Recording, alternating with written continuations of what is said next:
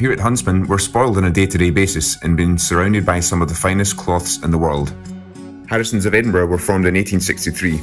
Their high standards and attention to detail made them an easy choice for us to promote this curation of cloths. With lifestyle changes afoot and working from home becoming the norm, we've geared this selection around separates for your autumn winter wardrobe. From the wonderfully soft, extraordinary cashmere jacketing to the hard wearing spring ram suitings, these suggestions have got you covered. Myself and Dario Carnera hope you'll enjoy some of our personal favourite go to cloths.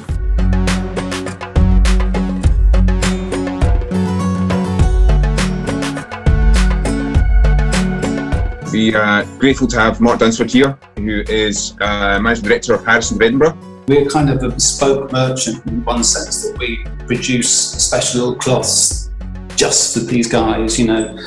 And you know, it's it's it's what people like you guys want, you know. And I think the mm. customers don't have any problems with it, and I think you know it, it, it lasts the test of time. In, in a sense, we, I mean, one of the reasons we've worked close with you for so long is because we need cloths that lend to hand tailoring rather than manufacturing.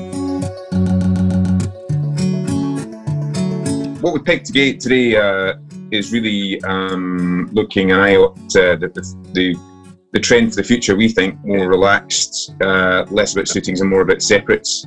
Just to kick off, we've um, we've started with the Lumb's uh, Golden Bale Bunch.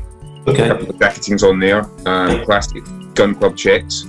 Um, the Lumb story is quite an interesting one, Mark. The Lumb story goes back to the 1920s, really. Uh, Joseph Lumb, uh, manufacturers uh, in, in Huddersfield for, for, many years. Going back to the time when obviously there was a larger manufacturing base uh, vertical base, manufacturing base in, in Yorkshire. And um, Joseph Lumb started uh, a group of chaps uh, that wanted to sort of separate uh, qualities of fine yarn that was coming into the country at any one time. And so they sort of got together and um, a little club, if you like, and uh, they would always grade each of the clips coming in uh, and uh, the very best clips that were sort of coming to Yorkshire would be selected and they would get the, the Lumb stamp they would be uh, the ones that were selected as the premium uh, wool for that season. And so, following on from that, obviously the the fleeces that were spun, they were woven into fabric, and then certain merchants were then allowed to purchase the yarn. It wasn't just a free thing; you were allowed an allocation because there wasn't that much of it. Um, when you start separating it out, because it's end of the day, it's super hundreds. Um, and so those few merchants that were given the license to use Lumscott well, luckily it was one was H. Lesser. And, mm. and Lesser's over the years, I think both in our time, we've been in the trade a number of years, is Lesser's was always Lumb's Golden Bale. Uh, and so, I mean, when Lesser's sort of got into a few difficulties over the years, and we managed to sort of help them out and, and take over the company, uh, the very first thing we did was, was get in touch with the Lumb's guys and say, look, we've got to have a, a bunch, uh, we've got to get this back up. It's, it's a fabulous quality. It's the best of the best Super 100 you can get, and it makes a fabulous suit, flannel, and, and then combined with with another other materials, even mohair and cashmere, you can make fabulous coating for it or jacketing, whatever. So the Lumb's is and will remain you know, the pinnacle for us in terms of, of suiting uh, and cloth, really. Even if you go the high numbers, the sort of 12.5 micron, they are lovely things. But if, like us, you love a British fabric, that's probably the number one. Yeah, we certainly know from dealing with our customers when people come in and want a classic English Savile suit is the go-to, but for the quality and the durability, etc. That's always been the staple for. Us. We actually used two two counts of yarn, and we made four different uh, qualities within that. So we had a plain weave that was down to eight ounces, and then we had a to 72s, we just made it sort of 10, 11, 12 ounce, and then we spun it to 52s count, and that got you a nice flannel. And that was another part of the whole mix was to sort of mix it up a little bit more um, to sort of give you a sort of you know, a, an all-round sort of selection of cloths within the what is capable. At the end of the day, you've got an 18.5 micron cloth. You, you can't make it heavier. You can only spin it to different sizes to make a different quality fabric. And um, in all, it, it is the same thing. It's just a lovely, a lovely thing to work with. This is this is the Lumb's jacketing, okay. So I'm going to show that to you guys here if I can. How's that? Lots of colours to pick out with accessories, right? You red I mean, cords, red sweater. Everything, everything here. This is why we picked these colours because you can put it with everything. It's because we didn't make the red too strong, but red's always hard to sell. But this is more of a soft uh, coloured red. It's not strong, so you can still get away with everything with this. It's actually got more of a blue tinge to it that comes across mm. on camera. That's the grey version.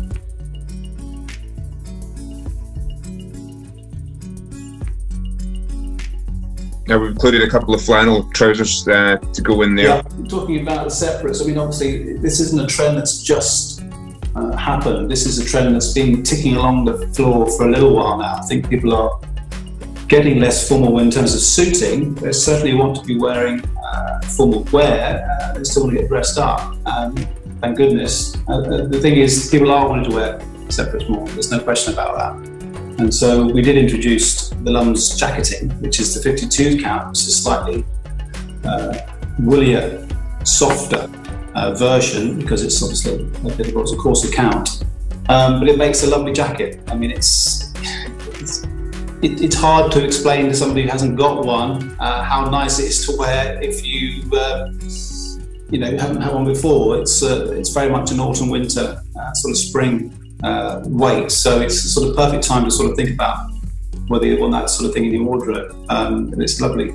A nine month weight, so it's most of the year round wearable. We've included two overcoating options. Um, the uh, the twill and that's the 85% um, Lumb's Golden Bale wool and Super 100s. Beautiful. Is that? Do you think it's a any better handling cloth than that? I've actually got one in the charcoal grey that I've had for about 18 years, and it's still good as new. I mean, this particular this year we actually let's say last year, so I can't survive, but we've actually brought in a whole load. I think about six or seven new colours in Lumb's Golden Bale coating because it's really demand led more than anything, but it's just a fantastic coating. Mm. Uh, I would say for winter, the way it's set as well is that you've got it, it's would blast any really cold wind because it, it's got the beef in there. It's uh, solid without feeling solid. It's got a lovely soft drape. It, it makes a beautiful coat, uh, and I think you get a lifetime's wear out of that. I just love touching it and holding it, and, you know, feeling it. It's just, uh, you know, love it, love it. Solves the dilemma of charcoal grey or navy overcoat, and this is a, a char navy, right? So it's in between. Yeah, it's plenty the colours. Um, we're trying to obviously trying to find colours that people can wear with everything um, without being too flamboyant. I, don't know if you can hear the way I'm handling this, but it just feels. it's great stuff to hold. It's just fantastic cloth to handle.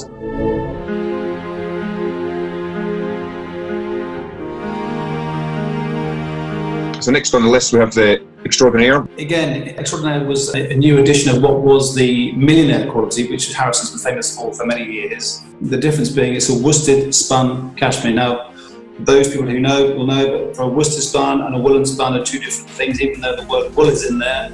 It refers to the spinning of the yarn, the fineness of the yarn. So a, a worsted spun is a much finer quality yarn um, that makes a lighter weight, less if you want to call it, word chunky look. It's a much more streamlined look. Um, and so we wanted uh, to change the way we had the millionaire before, where before millionaire was uh, quite, quite a coarse count, quite a thick yarn in worsted spun count. We wanted to make the cloth the same weight, keep the same shape, but refine it and, and, make it a little bit finer. And we could get the, the settings a little bit tighter to try and make the cloth a little bit more um, I would say more jackety, more less less chance of it to sort of move around if that's the word I want to use, but keep the drape. So Extraordinaire came from that. Um, we, again, we wanted to make it in the UK, which is quite hard because the majority of cashmere is probably made in places like Italy and in China, but we worked with this very small uh, manufacturer in the UK um, our own design team, and we produced what we think is a fantastic worsted spun cashmere. Yeah, the Millionaire Bunch was has been around, you know, for as long as that. Daddy and I have been in the trade, twenty yeah. years plus, and uh, a great bunch. But the, the, designs in there were starting to get a bit um, old-fashioned. And the, the Millionaire was, was in its time. It was it was very plain colours, and um, it was a fantastic drape. I mean, it, it, was so soft, but it was a bit like knitting wool, refined knitting wool. It was you know, it's like wearing a, a cardigan, so soft. Yeah, but performance-wise, you know, it was questionable. You could argue. Um, so we wanted to sort of update that, uh, and we brought the you know the, extraordinaire is, is that replacement. So. Um, yeah, it's a lovely collection of, uh, there's about 20 odd designs in the book. So here is, uh, if you can see it, just come off the luster of the cashmere, I think you can see that. A lovely silvery, yeah. silvery. It's beautifully soft, but without being, you, you, you know you're going to get the wear out of it. Um, it's just got a lovely handle. Another colour which is coming through is the sort of brown, blue, um, kind of uh, sort of uh, sort of how to pronounce it, but it's more like a coffee color. Mm-hmm. Sometimes this is a bit more coffee color, um, just because it goes with with so many other things. Uh, navy, grey, even white trousers. I don't know in summer. People hear the word brown and they're put off because they think it's like their dad's. Yeah, jacket. I think it's just got. I think brown's got a little cooler, and, and also green's got a lot cooler as well. Um, people wearing more greens. Um, mm. Whether that lasts, I don't know. Yeah, we can see the overcheck as well. Yeah, and that's that's a traditional check, but it's, it's there's more definition to it, right? It's a sharper check. Yeah, it's actually like you said, it's a Glen check, but we've actually got a window pane on top of it. So you just sort of it's, it's, not a Prince of Wales, but it is it's, it's on those part, but it's it's, it's, a, it's a Glen check really. Okay, and and the size. For our knowledge, we think this is the best size. It's not too big, not too small. Um, I know getting it right is always a bit tricky, but in our experience, this size Glen is the most popular that we find. We've had great feedback from customers who've actually worked with the cloth and customers who actually worn the suits or the jackets. So, you know, it's a it's a lovely thing to have in the wardrobe. The twist in the yarns and both the patterns we've picked in the checks are um, really fantastic. I can see, you know, that go with pretty much anything, flannels. Yeah jeans. Yeah, again, it's the separates. You know, I think the images that we created were pretty much, you know, it's all separates. But for that, I mean, not many people want a, a cashmere suit. There are, we do have cashmere suiting, but it's you know, it is a limited thing uh, for people who want to wear. They just want to wear a jacket. For the, you know, the two classic blazerings at the back, the the plain weave and the Mock Leno weave, which usually comes in a more robust, hard wearing. Uh, high twist. It, and it's a bit more texture to it than just a straightforward uh, serge twill uh, looking one. Um, although that is actually the most popular. The the Mock Leno is also uh, over the last couple of years. I think Mock Leno has been more and more uh, prominent in the market in all kinds of qualities. So I can hopefully show you the look of it from the picture. You can just about see that. I think. Yeah. Yeah, we can see the weave. And if you can see, and if you can see me through it, it's got a lot more air through it. Um, like a sort of air, it's got the setting so you can see a bit more meshy looking. Yeah. And then the straightforward twill, two and two twill. Again, it's the same colour blue, but just just solid. And both these blues are, are not a true navy, are they? More of a French navy. Uh, yeah. Again, interpretation, but slightly softer. Saying, I know you're saying it's probably it is along the lighter side of navy, hmm. rather than too dark. We didn't want to go too dark with these, only because it gets too dark. It's hard. It becomes a bit too dull. Sometimes it's a bit more life in these colours.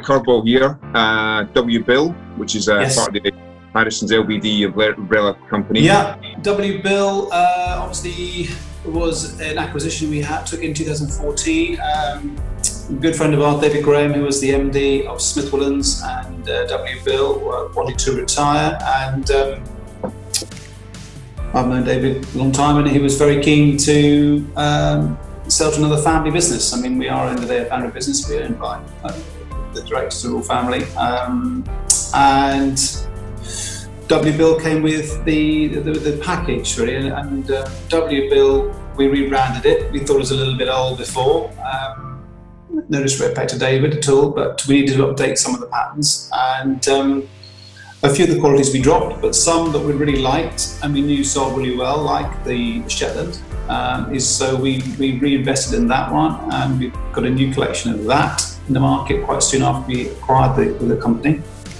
Um, and that's, you know, it's, it's within our different brands, the Porter and Harding is more the shooting and hunting, uh, more functional working tweed. But the W Bill is much more the relaxed, casual weekend, um, Rolex sweaters. Um, more, it's to go with sort of, you know, weekends away. It's not, it's not to go out hunting and shooting with.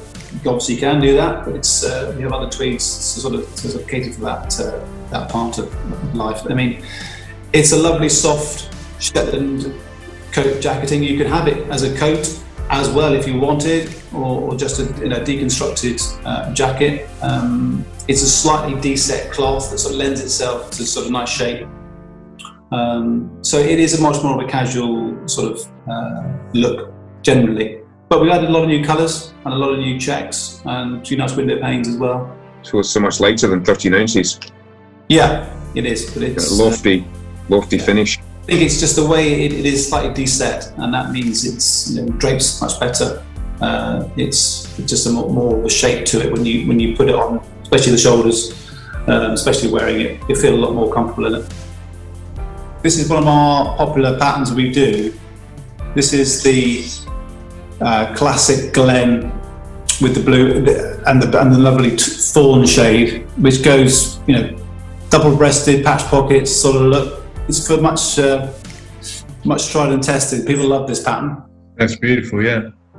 Um, I, again, it, I think you need to seeing the pattern's always a bit harder. Once you put it on a coat, it's completely different. And then there's the straightforward baby blue. Um, you can see that. The amount of colours of blue in there is just yeah. Uh, well, you, yeah. you know about the cloth because it's not just one colour there. It's probably about ten to get that image, to get that look. But yeah, lovely. It's so clean as well. It's uh, mm. just nice, it's just nice to wear.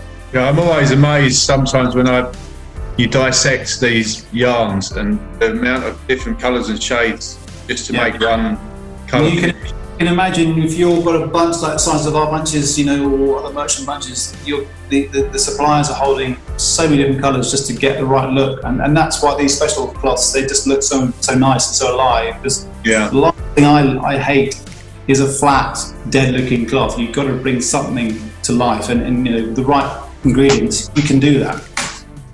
Yeah, it just gives it a luster, doesn't it? When you yeah. get the, yeah. depth. Absolutely. Absolutely, you can't you can't imitate that. You've got to put the ingredients in to get the result.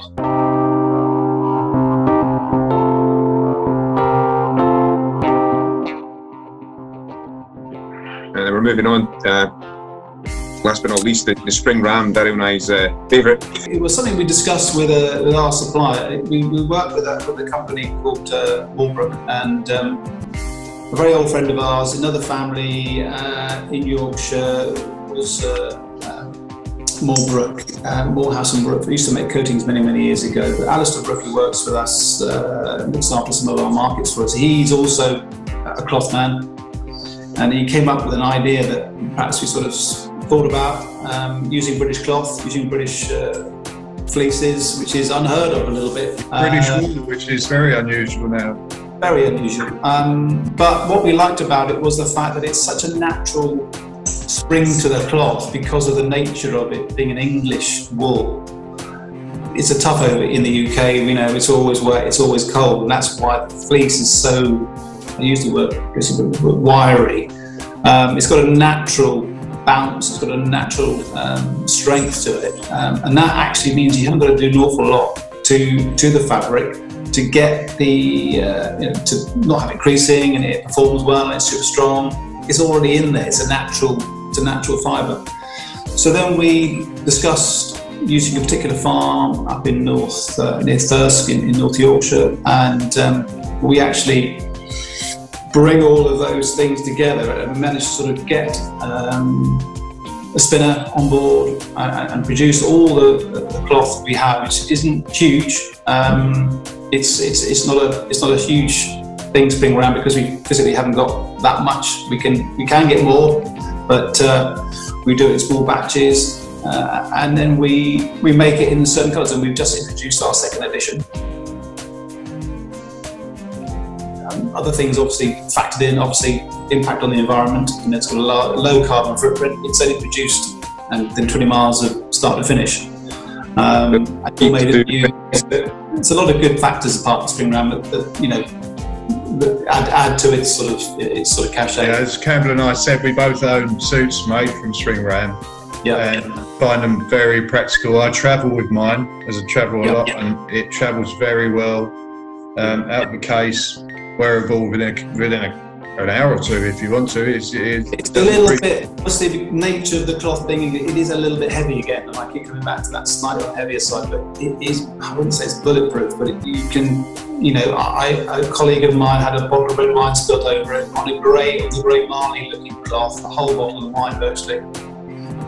And we had, we thought that was finished. I mean, we thought that was done. And um, it all came out. I mean, it was just we got it, you know, got it clean professionally within about 24 hours, and it was absolutely perfect. So it is, it has got a lot of benefits. I'm not saying that's one of the big ones, but it, it just shows you a natural fibres like that. What I found with my one, Spring Ram, it, it's almost um, when we explain to customers about um, benefits of wearing a cashmere overcoat, you get warmth yeah. without the wash. It's almost the reverse with a spring ram. You get weight without warmth with the spring ram because yeah. it's quite porous. So yeah. you get it hangs well, it, it, looks sharp still, and, and it's still, you know, you can still feel reasonably cool. If you, if you get caught in the rain in it, it, honestly, you know, you hang it up and let it just naturally dry. You know, you need to be impressed, but it, you know, you, it will be fine. It's already been yeah. out in the, in the out in the rain for three or four years, getting soaked in the UK, so yeah, not really a problem. I've worn mine right up until May June time, no problem at all. It's really, yeah. really comfortable. Ah. And it, it's not again, when you've got thick fibres, you can't get them always that close. So you've always got a little bit of air in there as well. So you could wear it all year round, really. I mean, you know, online, not, not a problem. And the two patterns we're going for are relatively, um, you know, classic. Uh, yeah. Picking the, the lovely petrol blue and grey. Yeah. Uh, Spring Ram fibre just makes them really come to life. That you know, two-tone melange. Right, I think this is probably more of a hairline spot of these designs. It's hard to tell because when you again you're using different um, different yarns, you often get different results, even though you're trying to achieve one particular design. But this is the grey. So much silver in it, isn't there? What's nice about it is the grey is a grey for any thing. I mean, you could wear this for trousers, for trousers, just for jackets, for suits, whatever. It's a really all-round grey. It's not, it's not flat. It's not a, a too dark. It's sort of in the middle. You know, it's a really nice sort of colour. I can um, see you through the evening wear as well, right? For yeah, well, you you probably could. Yeah, I mean, it's unusual, but you could. Yeah, colour, a bit like what I'm wearing in terms of shade. Um, yeah, it's sort of. I wouldn't say the melange type look blue, if that makes sense, but it's that sort of um, denimy, trying sort of denimy, sort of dark denim kind of colour look to it. Um, but lovely. It's a different blue. It's not too navy. It's more. It's, it's more the petrol blue. Yeah. See that, but you can see the weave look. You can probably just about see me through it. Yeah. Yeah. Yeah. Very that's the air. And that's just that's purely the fact that the yarn is so sort of wiry. It's just the fact that it naturally lends itself to being a, you know, a, a sporting um, travel suiting kind of cloth. I mean, melange. You're telling you touch on melange there. Melange is actually one of the things that we're getting more and more requests for around the world on, on because it's so hard to sell stripes now. No one wants a striped suit, and um, how do you reinvent the plain? And I think melange is probably the way that everyone's going. Certainly, we found that on on all of our qualities in all types of cloth that we produce and sell. Um, melange is the one, and I think you've got two colours there which you can use with anything. Melange is definitely a theme of our spring summer redswear collection, of which a lot of it is uh, Harrison's, and that goes through to your spring summer uh, cloths as well. Some of those amazing um, melange linens you have, and you've got a couple of exclusives coming out, linens and cottons, not yet seen. We've extended the linen bunch, which is what I'm wearing today, which is the W linen. Um, some inclusive new colours on that, uh, so that's a larger quality bunch, a number of patterns on there, and also a more comprehensive uh, cotton bunch. So we've got about, I think it's four or five different qualities. So you've got your standard uh, dry finished cotton, you've got a few denims, um, you've got a few drills, and you've got a few of the sort of what I call the sort of hop sack, uh, slightly more um, classic, uh, three or four colours of that. And also a few with a few, a little bit of elastic, just for if people wanted to wear trousers or wear shorts, especially in hot countries, it, it just stretches a little bit, it a give just to try, see what kind of reaction we get. Um, it's something we were asked for, and um, you know, we're happy to give that a go. Hopefully, the weather here holds, and uh, spring in New York, this, this spring weather's yeah. changed. So. Well, we're quite excited about the two because, especially the cotton bunch, we haven't done before, and uh, it was a brand new thing for us. Any Huntsman customer wanting to order spring summer and enjoy this weather, there's plenty yeah. of time. Yeah, we've still got time to make things for you.